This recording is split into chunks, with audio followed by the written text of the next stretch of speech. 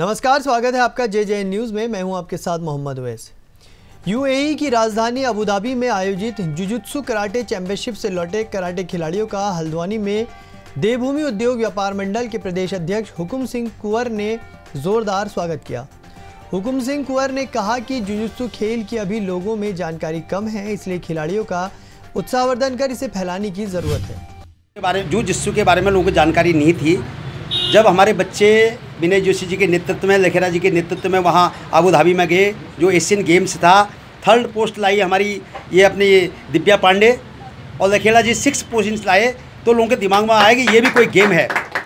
आज हमें गर्व है कि उत्तराखंड की धरती से इनको एशियन गेम्स में तीसरी पोजीशन लाना और सिक्स पोजीशन लाना बहुत बड़ी उपलब्धि है।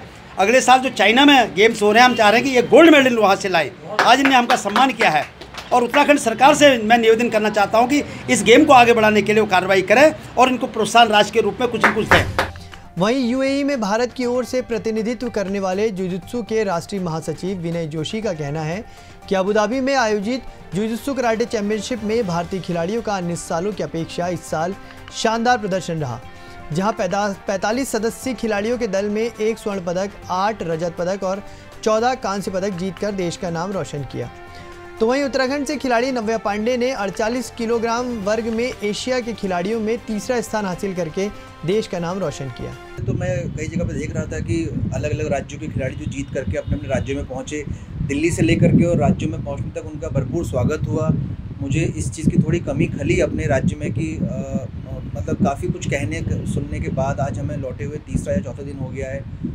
हमको एक खिलाड़ी को जो सम्मान चाहिए होता है, यही चाहिए होता है कि हाँ उसको एक सम्मान मिले, उसके अपने इलाके में पहचान बने ताकि वो ज़्यादा जोश के साथ अपनी परफॉर्मेंस आगे कर पाए। क्योंकि तो अल्टीमेटली हम सब ये जो कर रहे हैं, अपने खेल को और अपने देश को बढ़ावा देने के लिए कर रहे हैं कि हाँ और आज जो प्रदर्शन इन तीनों लड़कियों ने किया उत्तराखंड की, हमारा पूरे देश में आज के लिए नारा दौड़ रहा है कि बेटी बचाओ, बेटी पढ़ाओ, बेटी बढ़ाओ तो उस दिशा में हम लोग प्रयास कर रहे हैं, बेटियाँ प्रयास कर रही हैं, सरकार को चाहिए और हमारे सभी सामाजिक क्षेत्र से जुड़े हुए जो गणमान्य लोग हैं, उनको चाहिए कि इस दिशा में हमारी मदद करें हम लोगों को, हमारी बातों को सरकार तक पहुँचवाएँ। तो इस खबर में अभी के लिए बस इतना ही, बाकी देश और प्रदेश की खबरों के लिए देखते रहिए जे जे न्यूज़। नमस्कार।